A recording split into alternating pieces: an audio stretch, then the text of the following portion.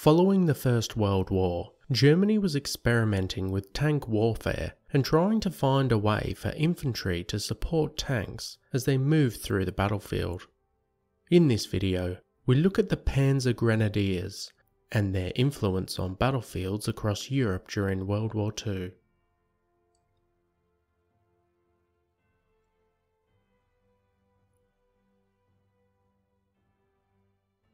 Essentially through some trial and error, German military planners determined that there were two ways to wage war with tanks.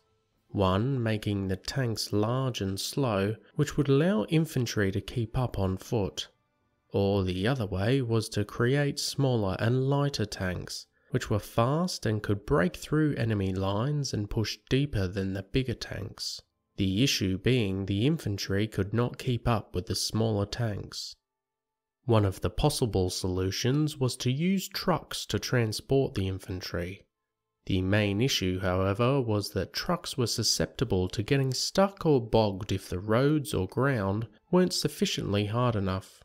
So another vehicle was developed, the SDKFZ251 troop carrier.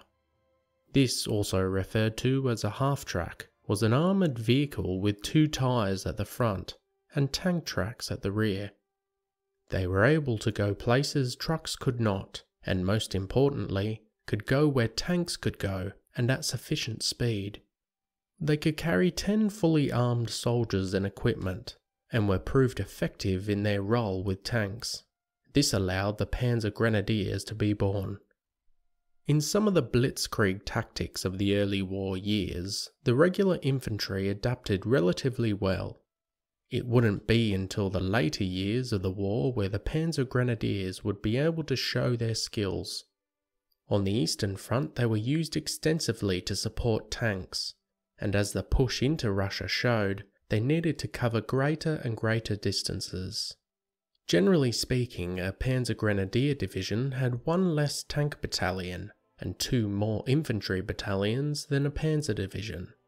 The half tracks were meant to be distributed across all of the Panzer Grenadier divisions, and all of those soldiers using that mode of transport. But as the war raged on and Germany suffered heavier and heavier losses of man and machine, these half tracks became more scarce. This resulted in many of the soldiers having to be transported in trucks instead, which of course slowed them down.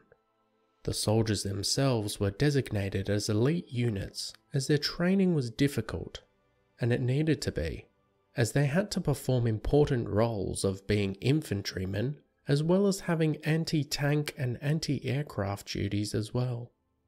But due to the lack of resources and time, this training deteriorated later in the war, so some of these later soldiers didn't have the skills or ability of their early war counterparts.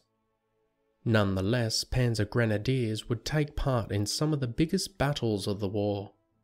They were armed with the latest weaponry including the Sturmgewehr 44s and the Gewehr 43s. Their anti-tank equipment consisted of Panzer Panzerschrecks and numerous different mines. Their anti-aircraft equipment mostly consisting of 20mm cannons. They were essentially only as effective as their equipment though, and as the war came to a close, they were forced to move on foot and use what weapons they could. But they are certainly remembered as an integral part of the German forces during World War II. As always guys, thanks for watching. Be sure to hit that subscribe button if you want to expand your knowledge and join the growing Premier History community.